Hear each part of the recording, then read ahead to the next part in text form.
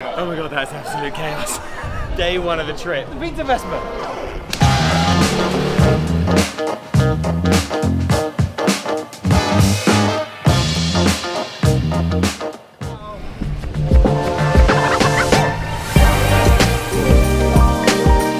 So we made it through the tiny streets of Naples in our Pizza Vespa all the way to Sorbillo on Via Tribunale, one of the most famous pizza streets in the world. This is such an important pizzeria for us. Every time we come with all of our managers and all of our chefs to Naples, the first pizza we have is always in Sorbillo.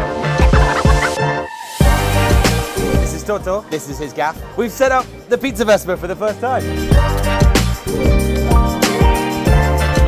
Toto is going to christen our oven and he's going to make the first pizza and we've challenged him to make the most luxurious margherita possible. Andiamo? So pomodorini, a little bit of basil, mozzarella, pesto that we got from the sandwich shop just down the road. Wayo.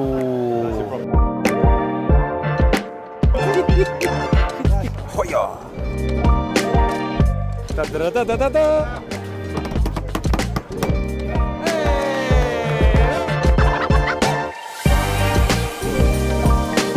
Pizza one, day one, coming out of the Roccbox oven.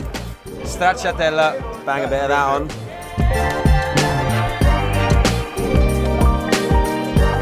Margherita extra extra is what he called it. Pomodorini, basil, pesto, stracciatella, buffalo mozzarella, normal mozzarella.